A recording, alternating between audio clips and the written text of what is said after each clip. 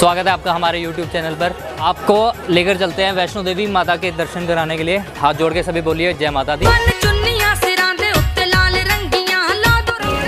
जय माता दी। जो आप मेरे पीछे देख रहे हो ये है वैष्णो देवी माता का भवन जहाँ पे माता की तीन पिंडियाँ आपको पता होगा। आपको इस वीडियो में देखने को मिलेगा कि अगर आप चंडीगढ़ पंजाब या हरियाणा वाली साइड से आ रहे हो तो कितने कम खर्चे में आप यहाँ पे आ सकते हो?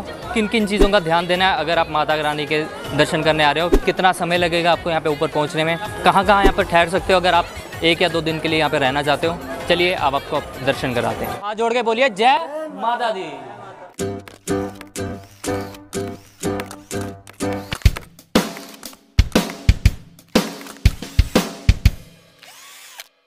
हरियाणा के कालका शहर से हम अपनी यात्रा की शुरुआत कर रहे हैं। ये ट्रेन कालका से सीधा वैष्णो देवी माता रेलवे स्टेशन तक हफ़्ते में दो दिन चलती है और दो दिन वापस आती है। कालका से सात बजे डिपार्ट होकर चंडीगढ़ के रास्ते ये सुबह पाँच पंद्रह वैष्णो देवी पहुँच जाती है। ट्रेन का किराया स्लीपर में दो सौ पचासी और थर्ड एसी में साढ़े सात सौ मात्र है। ट्रेन एक्यूरेट सात बजे शाम को ये कालका से डिपार्ट कर चुकी है, आप देख सकते हो। बोल सच्चे दरबार दी जय। जैसे आपको पता है, सफ़र रात का है तो खाने पीने का अपने साथ लेकर चलें या घर से ही खा कर चलें। पूरे एक्यूरेट पाँच बीस पर हम यहाँ पहुँच चुके हैं। हम पहुँच चुके हैं वैष्णो देवी रेलवे स्टेशन और काफ़ी ज़्यादा भीड़ आप देख सकते हो। अब देखते हैं यहाँ पे हमारा कोविड टेस्ट होएगा कि नहीं। हमारी तो सेकंड डोज लगी हुई है। इन दोनों ने सेकंड डोज नहीं लगवाई है। शायद इनका कोविड टेस्ट होएगा। चलो आगे दिखाते हैं आपको। जिन यात्रियों को वैक्सीनेशन की दोनों डोजेज लगी है उनको लाइन से यहाँ पर सर्टिफिकेट चेकिंग करवानी थी। वीडियो को लास्ट तक ज़रूर देखिएगा। कोविड की पूरी रेगुलेशन आपको मैं बताने वाला हूँ। वही टेस्ट क्या है? नेगेटिव पॉजिटिव स्टेशन से बाहर को जाने का रास्ता ये है। मंदिर के आप दर्शन कर सकते हो।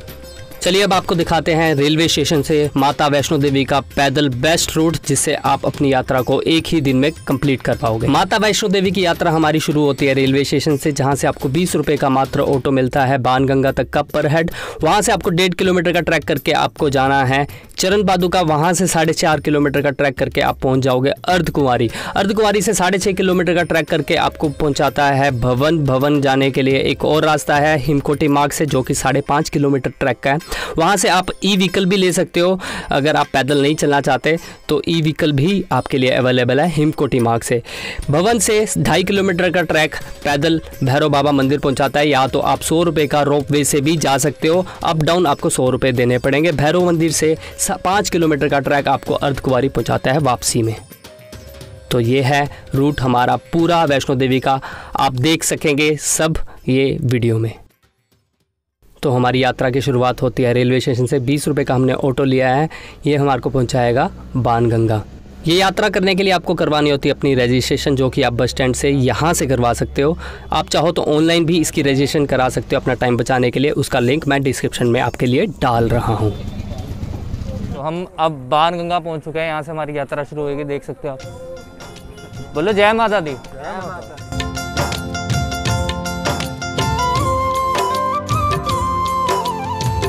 आप अपनी यात्रा शुरू करने से पहले यहाँ पे नहा भी सकते हो।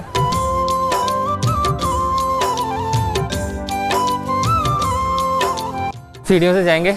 425 सीढ़ियाँ चलो देखते हैं थकान उठती कि नहीं। जय माता दी। सो so, 415 की सीढ़ियाँ चढ़ी। हाँ, ऐसा लग रहा है कि हज़ार से ऊपर चढ़ ली हमने। 415 तो नहीं थी यार और आपको बताना चाहूँगा, हमने ये जो यात्रा थी, शुरू करी थी, छः पचास हुए। छः पैंतीस पे करी थी, लग गई है सच्ची। हाँ तो एक सकते यहाँ से हमने शुरुआत करी थी, यहाँ से। चलो नेक्स्ट सीढ़ियाँ चढ़ के आपको बताते हैं। यह है प्रथम दर्शन मंदिर, चरण पादुका। जय माता दी। यह है चरण पादुका मंदिर। यहाँ पर वैष्णो देवी माता ने पीछे मुड़ कर देखा था भैरवनाथ आ रहे कि नहीं आ रहे। और जब उन्होंने पीछे मुड़ के देखा तो उनके यहाँ पे चरणों के निशान लग गए थे जिस कारण ये मंदिर बनाया गया है चरण पादुका आप देख सकते हो मंदिर की यात्रा जब स्टार्ट करोगे आप तो यात्रा में सबसे पहले आपको यही मंदिर देखने को मिलेगा। आप देख सकते हो। का मैया मैया। जय माता दी। तो चरण पादुका पे खड़े हैं हम और आप देख सकते हो यहाँ से अर्धकुंवारी के दर्शन यहाँ से हो रहे हैं। लगता है दो घंटे और लग जाएँगे हमारे को यहाँ पहुँचते पहुँचते। चलिए आगे बढ़ते हैं। जय माता दी। भाई सीढ़ियों से जाओगे तो ऐसी हालत होगी। Just see his face. पानी की बोतल तो ले ले। यस इट इज़ रिकमेंडेड कि रेस्ट लें बट ज़्यादा रेस्ट ना ले। दो से तीन मिनट का रेस्ट ले फिर चले। क्योंकि आपका फ्लो बना रहता है। फ्लो बना रहेगा तो आप ज़्यादा चलते रहोगे और साथ में पानी की बोतल ज़रूर लें, क्योंकि प्यास लगती रहती है। सीढ़ियों से कम लोग आते हैं और यहाँ स्लोप से ज़्यादा आते हैं, देख सकते हैं। डिफरेंस हाँ। हमारे दोस्त पीछे रह गए हैं सो उनको अब कॉल मिलाने जा रहा हूँ। एक इम्पोर्टेंट आपको मैसेज दे देता हूँ कि अगर आपके पास यहाँ पे पोस्ट पेड नंबर है, तभी आप कॉल कर सकते हो। अगर आपके पास प्रीपेड नंबर है तो कोई भी आपका प्रीपेड नंबर नहीं चलेगा, चाहे एयरटेल हो जियो हो रिलायंस हो वोडाफोन हो, कोई भी नंबर नहीं चलेगा। अगर आपके पास पोस्ट पेड नंबर है तभी आप कॉल कर सकते हैं। सो हम कॉल मिलाएँगे देखते हैं कितने पीछे रह गए वो। चलिए जय माता दी। हेलो। हाँ पहुँच गए थे। हैं अभी घर मंदिर मेरा बना जाना। जय माता दी। मैया ओ मैया कभी मेरे घर भी आ जाना। तो जैसा कि आप देख सकते हो, हम अर्धकुंवारी पहुँच चुके हैं इंद्रप्रस्था से, दो रास्ते जाते हैं भवन की ओर। एक साढ़े छः किलोमीटर का हाथी मत्था मार्ग से और एक साढ़े पाँच किलोमीटर का हिमकोटी मार्ग से। हम हिमकोटी मार्ग से जाएँगे क्योंकि हमने ई रिक्शा से आगे भवन की ओर जाना है। चलिए आपको लेकर चलते हैं ई रिक्शा बुकिंग की ओर। अगर आपने भवन बैटरी कार से जाना है तो आपको हिमकोटी मार्ग लेना पड़ेगा। आप यहाँ से अपनी बैटरी कार टिकट्स की बुकिंग करवा सकते हो, जो कि साढ़े तीन सौ रुपये की है। पाँच साल से ऊपर के बच्चे की टिकट यहाँ पर लगती ही लगती है। हमारे पास समय कम था क्योंकि हमारी शाम की वापसी थी तो हमने सोचा कि बैटरी कार से क्यों ना भवन तक जाया जाए। सो हम ई रिक्शा कार की टिकट लेने गए थे और हमारे साथ बुरा हो गया कि काउंटर साढ़े दस बजे खुलेगा। साढ़े दस खुलेगा और कह रहे हैं कि ऑलरेडी 25 बंदों को ही मिलेगी जिनकी ऑलरेडी प्री बुकड है ऑनलाइन और आप देख सकते हो। बाद मिलेगी डेढ़ बजे। और आप देख सकते हो पचास से ऊपर तो लोग खड़े हुए हैं लाइन में। साढ़े दस बजे के बाद कितने बजे खुलेगा काउंटर? डेढ़ बजे। वन थर्टी वन थर्टी भी सिर्फ़ पच्चीस लोगों को मिलेगी। कितने टाइम में कवर कर सिक्स थर्टी हम स्टार्ट करा था हमने यहाँ नीचे से। और आप देख सकते हैं नौ बज चुके हैं। एक घंटा तो रुको ही। और बीच में हमने रेस्ट भी लिया था ब्रेकफास्ट भी किया फ्रेश भी हुए। तो ऑलमोस्ट हमारे को कितने? तीन घंटे हो गए। तो अगर आपने ई रिक्शा से आगे जाना है भवन की ओर तो आपको रिकमेंड करूँगा आठ बजे यहाँ पर पहुँचे। आठ बजे फ़र्स्ट राउंड टिकट का खुलता है वहाँ पे पच्चीस लोगों को टिकट मिलती है। उसके बाद टेन थर्टी खुलता है तब पच्चीस लोगों को मिलती है फिर एक बजे खुलता है। तब डेढ़ बजे खुलता है तब पच्चीस लोगों को मिलती है। अगर अगर आप स्पेशल कैटेगरी के हो जैसे आप हैंडी कैप हो या वेरी सिक पर्सन हो या ओल्ड एज पर्सन हो तो आपको टिकट मिल जाएगी स्पेशल केस में। या फिर आप ऑनलाइन भी बुक कर सकते हो। ऑनलाइन का मैं लिंक बता दूँगा नीचे लिख दूँगा तो यहाँ पर। आप ऑनलाइन भी बुक कर सकते हो बट 25 लोगों को ही मिलेगी। यात्रा करते हुए अगर आपको पैसों की ज़रूरत पड़े तो एटीएम भी है रास्ते में आप देख सकते हो जे एंड के बैंक का एटीएम है रास्ते में। जय माता दी। ये भवन को रास्ता जा रहे हैं, यहाँ पाँच किलोमीटर दूर है। अभी टाइम मैं बता देता हूँ कितना हुआ है।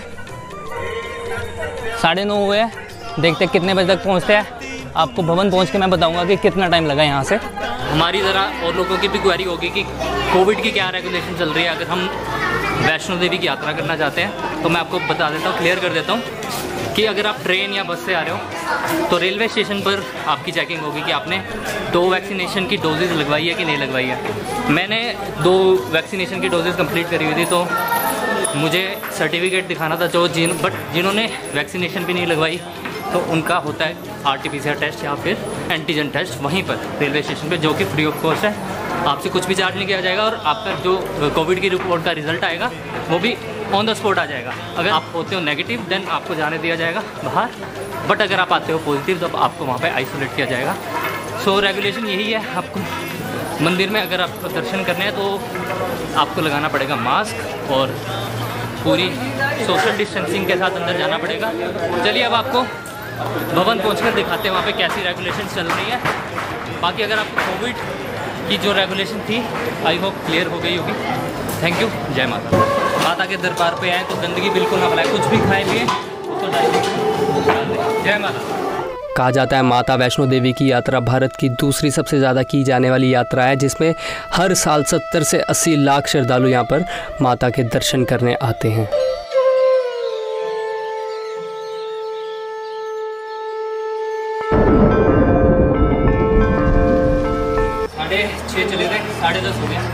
भवन ढाई किलोमीटर दूर है। देखते हैं कितनी देर में पहुँचेंगे। भवन में आरती का टाइम सुबह छः बज के बीस मिनट में और शाम में भी छः बज के बीस मिनट।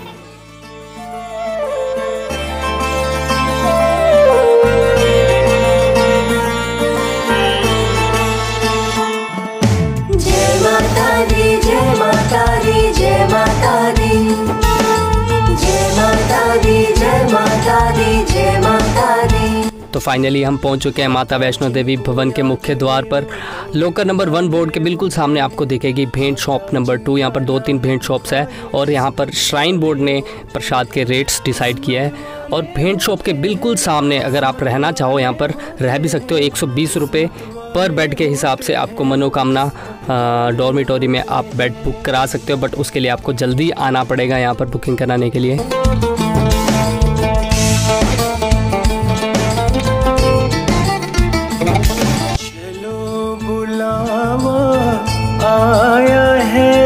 माता की गुफा के दर्शन करने के लिए आप साथ में प्रसाद पैसों के अलावा कुछ भी नहीं लेकर जा सकते। सो आपको सब सामान लोकर में ही सबमिट करा के जाना पड़ेगा। उसके लिए आपको फ्री ऑफ़ कॉस्ट ताला और चाबी मिल जाएगी यहाँ पर और लोकर्स की सुविधा यहाँ पर उपलब्ध है। आप यहाँ पर अपना सामान रख के जा सकते हो।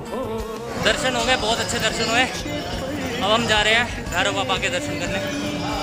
देखते हैं केबल कार में अगर हमारे को सीट मिलती है तो केबल कार से चलेंगे नहीं तो पैदल जाएँगे। रानी माँ ने दरबार लगाया है चलो। केबल कार के लिए तीन घंटे की वेटिंग थी सो हमने सोचा पैदल ही चलते लेट नहीं नहीं तो लेट हो जाएँगे। सो अब हम पैदल जा रहे हैं भैरव बाबा के लिए। जय भैरव बाबा की। भैरव बाबा मंदिर की ढाई किलोमीटर की चढ़ाई, यहाँ पर सबसे डिफ़िकल्ट चढ़ाई है, जिसे करने में हमें 40 मिनट का समय लग गया था। और ये भी कहा जाता है, भैरव बाबा के दर्शन किए बिना आपकी यात्रा कभी भी पूरी नहीं होती। भैरव बाबा का मंदिर काफ़ी ज़्यादा हाइट पर है तो यहाँ पर मौसम हर वक्त अच्छा रहता है। और यहाँ से माता वैष्णो देवी का भवन भी देखने में बहुत ज़्यादा सुंदर लगता है। आप जैसा कि वीडियो में देख सकते हो कि कितना सुंदर दिखाई पड़ता है यहाँ से मंदिर।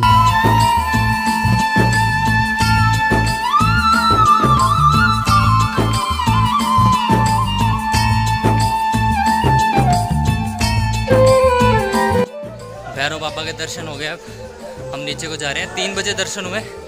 तीन बज के पंद्रह मिनट हुए।